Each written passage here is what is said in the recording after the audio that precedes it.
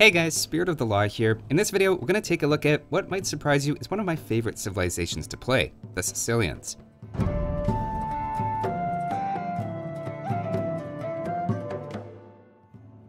They're one of my main go-to civs at the moment, especially for team games, though not necessarily because they're overpowered.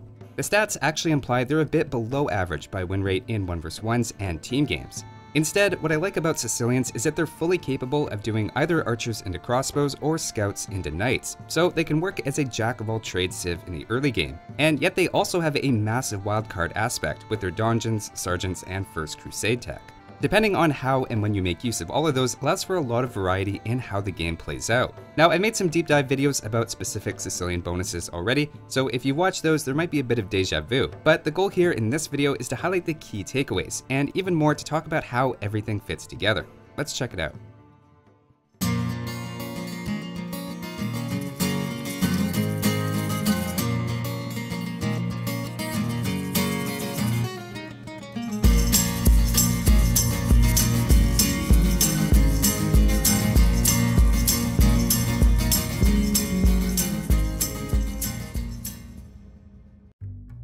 Starting off, their team bonus is that their transport ships have plus 5 capacity and plus 10 armor against anti-ship damage. Obviously, that's not incredibly useful on land maps, but should make transport ship landing safer for your whole team. It turns out all sorts of units and buildings have a bit of hidden anti-ship damage, and in many cases this bonus can actually negate that entirely. That makes them situationally useful at soaking up damage in naval fights. They have an awkward tendency to run away when they take damage, but luring enemy ships out of formation also has its advantages.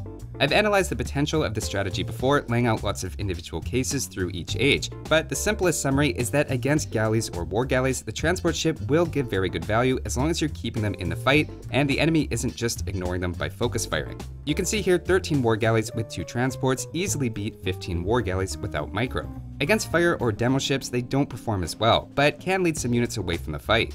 Once you reach the Imperial Age, galleons actually do considerably more damage against Sicilian transports, but even still, substituting a few transport ships in for galleons seems to be a winning play, and it's a great trick to keep in mind. Moving on, the next bonus is that their castles and town centers are built in half the time. The exact time saved depends on how many villagers you're using, but with 4 villagers on a town center for example, it's up 38 seconds earlier, and on a castle you would save even more as they're constructed more slowly. The general rule is that the bonus works as if you were to double your number of constructors and then add two more. That makes castle drops on Arena, for example, especially powerful, as your opponent has much less time to react, and defending against enemy castle drops is also easier as well. Even if the other player starts their construction first, if you commit similar numbers, you'll always win the race. There's really not much better than punishing an enemy castle drop by forcing them to abandon the castle at 80% completion. It's also a slight help for booming as well, by helping your town centers get up faster. You get somewhere between 1 and 1.5 extra villagers for each town center, since they can start working a bit sooner. The next bonus is that Sicilian land military units, except for siege, take 50% less bonus damage. Now this is a very mathy bonus and has a lot of different cases to think about, but is really what I think their entire early game revolves around. Feudal Age scouts, for example, take 5 hits instead of 3 from unupgraded spearmen, and even 3 Sicilian scouts against 2 spearmen isn't a losing fight, which would normally never be the case even for a good cavalry civ. Their archers also, of course, take less bonus damage from counters and survive two extra javelins from skirmishers. Another case that you might not consider is that their skirmishers end up taking half the usual damage from other skirmishers. Someone playing Ethiopians could easily try to take a fight with their archers and skirmishers against yours, thinking this is playing to their strength, when it's really playing to yours if both sides are using a decent number of skirmishers. Likewise, in early Castle Age before upgrades come in, their knights take 12 hits instead of the usual 7 from spearmen, and with bloodlines it's actually 15 compared to 8. Because so much of the spearman's attack is from bonus damage, you're essentially getting double the durability against the entire spear line. Camels don't do much better, and are actually a bit of a questionable choice. Another aspect that's easy to overlook is that this bonus makes their late game trash army surprisingly good as well. Trash battles revolve around the triangle of goldless units, with halberdiers countering hussars and skirmishers countering halberdiers exclusively because of bonus damage. Compared to fully upgraded hussars, Sicilian light cavalry take half the bonus damage from halberdiers and survive 4 hits instead of 3, while their halberdiers in turn take 40% more javelins from elite skirmishers, and even their skirmishers take a third more shots from enemy skirmishers than fully upgraded ones, despite lacking the final armor upgrade. Of course, all of this is dependent on being matched up against specific units, and there are lots of cases where counters aren't based on bonus damage.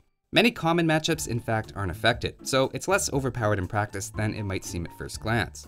Going full knights as Sicilians against a strong knight civ, for example, means you're probably going to have a bad time. The next bonus is arguably their main economic one, and it's that farm upgrades provide 100% additional food. This bonus has two effects. The first is that your payment for reseeding is delayed.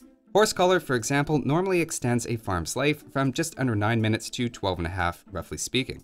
That's almost a 4 minute window where you'll feel like you have extra wood to spend, which you could potentially invest in more town centers or farms. Sicilians, of course, double the length of that window. If you're someone who regularly floats a lot of wood though, you probably won't notice a difference. In the very long run, the bonus also has the secondary effect of cumulative wood savings as well, where Sicilian farmers use 23% less wood over time with horsecollar and about 40% less wood after crop rotation. In fact, taking a very long-term perspective, Sicilians get something comparable to the Teutons farming bonus once they finish crop rotation.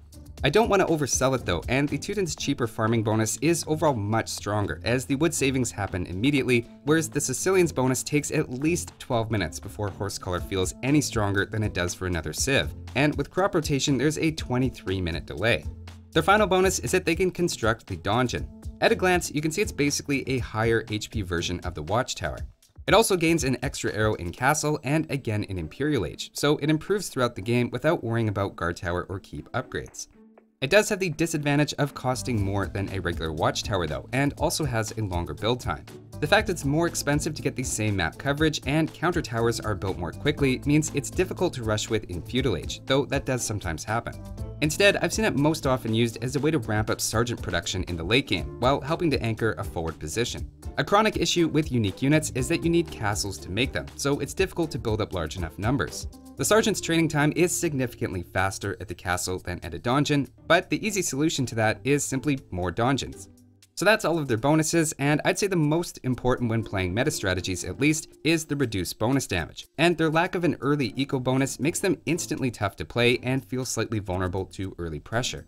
The upside is that between your farming bonus, faster built town centers, and strong unique unit, the Sicilians end up with a solid boom and late castle age.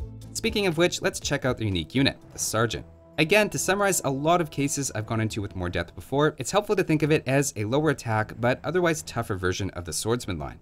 They cost significantly more gold, but in most matchups you are well compensated for that. What's even better is that they get a free upgrade to their stats when you hit Castle Age, and end up being an above average infantry unit thanks to higher armor.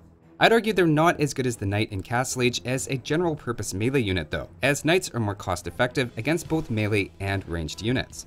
Personally, I find serjeants in early Castle Age are fairly easy to counter with either knights or massed crossbows.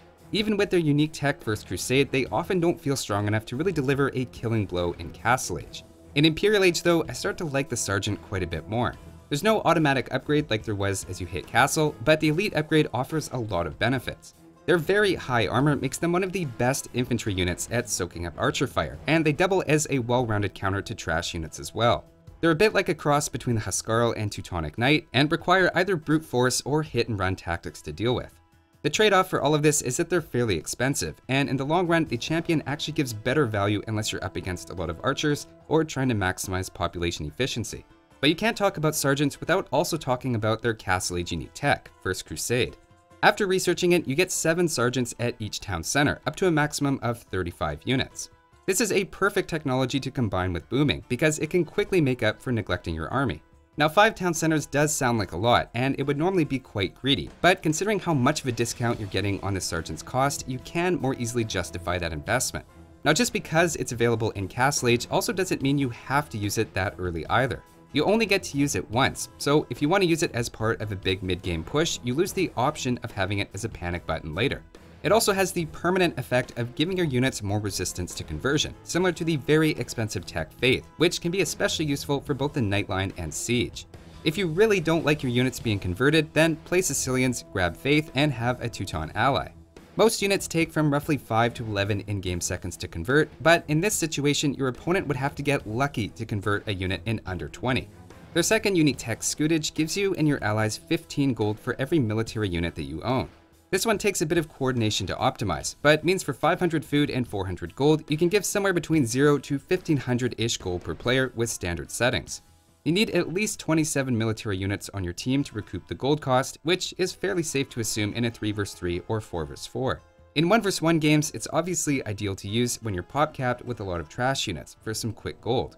Again, it's a one-time effect, and the perfect situation would be to be at your maximum population, use First Crusade for 35 more units, and then drop this tech. That's quite expensive to do, but it's pretty cool when it happens. So that's the Sicilians' unique unit and techs.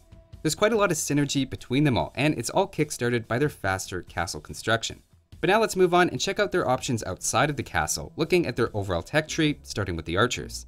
While opening with archers is viable and they're unusually good against skirmishers, in late Castle Age they start to fall off without Thumb Ring. In the late game, you can see you're also missing a lot of options, including Hand Cannoneer and the final armor upgrade, so even though they have Arbalest, it isn't particularly appealing. I'd give the archery range a C+, considering their decent opening, but it's a steady decline throughout the game. Next up, for the infantry, they have all of the essentials. There's no reason you couldn't go for men-at-arms, and you also have the option for serjeants with a Donjon Rush instead, carrying its own pros and cons.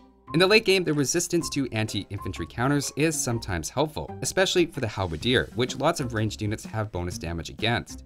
You also can't forget the Serjeant as a tanky late game unit, which holds up much better against archers than the Champion. Overall, I'd say it's an A-, and they're actually one of the only civilizations you regularly see using infantry in Castle Age. Moving on to cavalry, at first glance there's a lot missing, but it might not be as bad as it looks. Sicilians are played as a cavalry civ all the time, going with scouts into knights, as the reduced damage from their counters makes them a lot harder to deal with.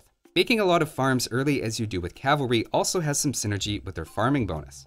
At the same time, they top out a bit early in the late game with Cavalier and are also lacking the Hussar for raiding. I'd say it's a B for Cavalry, but it's also their best choice in the early to mid game a lot of the time.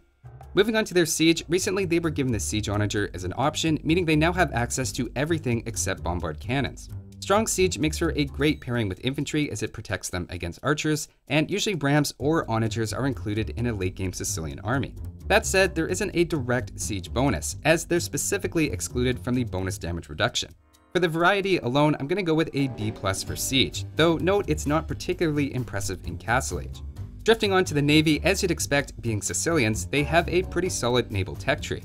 On top of that, they can also save a ton of wood in long games from their farming bonus. Their transport ships are also something they can use to get a slight advantage in large fights. So while I'd say they're a pretty generic C for the early game on account of no direct water or eco bonuses, I'd say they jump to an A- in the late game for a B overall. Taking a quick look now at the monks, you can see they're missing a lot of the key techs. Redemption, block printing, and theocracy are all pretty important for monks. You might make a few for relics, healing, or scaring away enemy knights, but a monk and seed strategy, for example, would be a very strange choice. I'd give this one a C. Next up, for defenses, the donjon has pros and cons compared to the watchtower, but I think overall it's a net positive. It's more expensive to build, but upgrades for free, fires extra arrows, and produces units. Sicilians, though, lack fortified walls and architecture, so it feels odd to call them a defensive specialist. The faster built castles, though, are a big plus, and even the faster town center construction is nice under pressure. I'd also argue First Crusade is a useful defensive panic button, as you can quickly mobilize an army to stabilize if things are going sideways.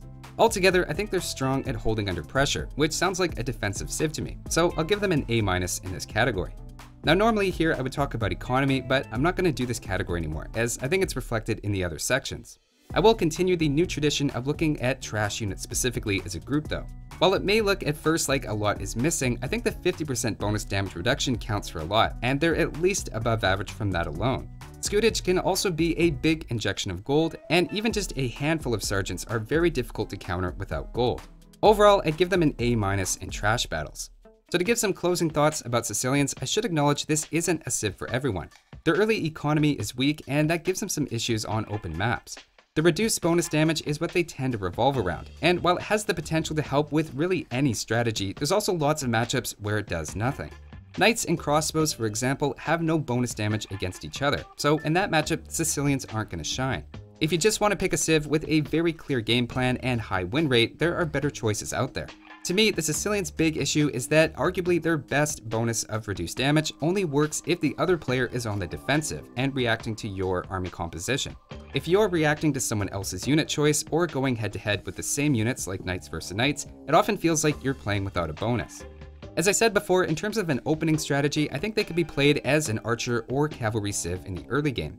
Scouts into Knights is the most common, at least at intermediate levels, as they hold up really well against their counters. But alternately, if you want a more messy game, you can just go for a YOLO Donjon Rush. Either way, it's quite common to eventually see lots of Serjeants, which make a solid pairing with Sicilian's good siege options. They have a bit of a reputation for lacking late game power, with relatively weak Arbalests and Cavaliers, but considering their solid boom, serjeants, castle drops, and trash units, I feel like there's still plenty of fun options to play around with. Something I personally like in a civilization is that it can go for either cavalry or archers as their opening. So in a 2 vs 2, I don't need to worry about what civ my ally is, and I can always find a complementary strategy. Likewise, with Sicilians, I feel indifferent between playing flank or pocket, which is something I wouldn't say about most civilizations. Even with other seemingly jack of all trades civs like Japanese, Incas, and Chinese, in all three cases I would have a preference for flank. I'm not sure I would pick the Civ in a must-win game considering their slow start, but they're perfect for when I just want to jump into a fun game and have a bit different experience than most civilizations offer. Those are just my thoughts on the Sicilians though. Big thanks to Jean Paul, Ben, Brian, James, Brock, Kyle, Matt, Noah, Samantha, I Lick toes at night, and everyone else on Patreon. Thanks for watching, and I'll see you next time.